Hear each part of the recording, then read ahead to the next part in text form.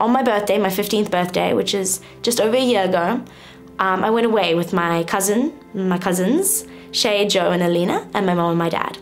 And I had said earlier that year that I had not wanted to make it to 15. So I lay in my room crying that night, and my cousins came in, and I spoke to them about everything.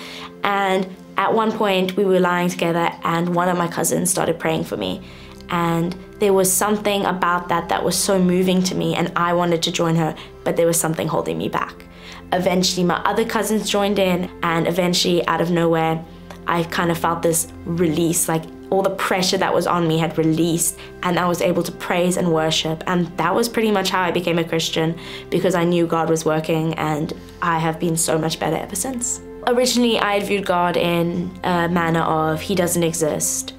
Um, but after I started changing my life and realizing that God was my savior and I wouldn't be who I am today and I wouldn't be alive if it wasn't for Him. And I started looking more into the Christian faith and I started coming to church more and asking questions. And eventually, I just, through all the sermons and the help, I just realized that He is my savior and He saved my life and He's, he's King, basically. My name's Erin and I have decided to be baptized because I have struggled for so long and I struggled for so long.